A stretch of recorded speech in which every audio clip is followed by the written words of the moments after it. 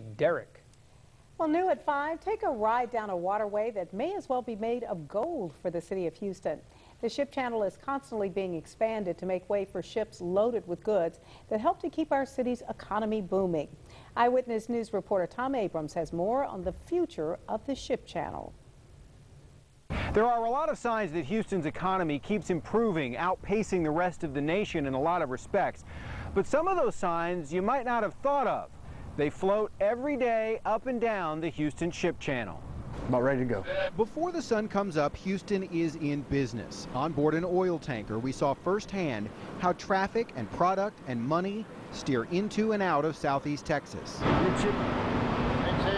Means the world for the Houston economy. Every one of these vessels, regardless of what they carry, is guided by a pilot, someone who knows the narrow or shallow curves of the ship channel, and they know the ebbs and flows of Houston's economic growth. So we move more traffic in and out of Houston than anywhere else in the in the country. According to a 2012 report, ship channel traffic accounts for more than 1 million Texas jobs and generates more than $178 billion in impact on the state's economy.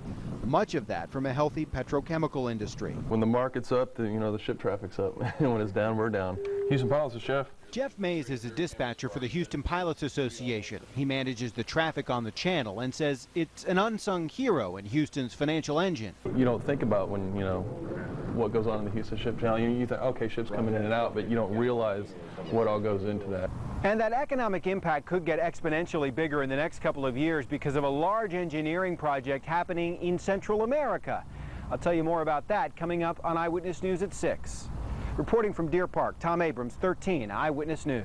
Anxious to hear about that. Thank Yeah. you, Tom. All right. Well, you thought the last Powerball jackpot was high. That was at 360.